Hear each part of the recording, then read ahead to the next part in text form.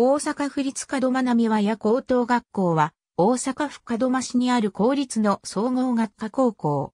府立70番目の大阪府立門真高等学校と、大阪府立門真南高等学校を統合し、2001年、門真高校の校舎に開校した。都日生と呼ぶ在日外国人生徒への教育にも注力している。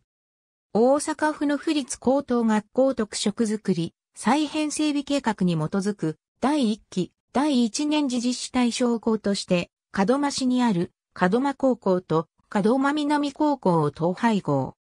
2001年4月1日、門真高校の施設をそのまま使用し、新設された。開校時は全日制の普通科総合選択制の高校だったが、2017年度に総合学科へ改編された。総合学科にグローバル、自然科学、福祉、子供教育、スポーツの5つの系列があり、10のフィールドを設定。国語、数学、英語などの必須科目を中心に基礎学力の定着を図り、興味や関心、進度に応じたフィールドを選び、フィールド指定科目や自由選択科目を通して得意分野の学力を伸ばす。なお、2018年度までは2学期制だった。ちなみに、普通科総合選択制の時代にも、普通科目を中心に学び基礎学力を身につけた上で、エリアを選択。1年生では共通履修科目を中心に学び、基礎学力の充実を図り、2年生でエリア指定科目を中心に、3年生では自由、選択科目を中心に学ぶシステムだった。エリアは国際、福祉、スポーツ、情報、人文芸術、自然科学の6つ。フィールドでは国際英語、理数、福祉、文化、スポーツ、情報、中国語、芸術の11つがあった。中国やフィリピン、韓国、ネパールなど在日外国人生徒が60名超在籍。都日生と呼び、生徒のルーツに合わせて日本語の習熟度に応じた日本語授業や母語教育などにも注力している。門真高校時代の2001年度から中国帰国生及び外国人生徒入試選抜を実施。地元の門真市が中小企業の工場などが立ち並び、アパートや文化住宅が密集する街で、どちらかというと低所得者層の多い市で、高校の対面にある大規模な大阪府営住宅、門真団地に中国帰国者が集中。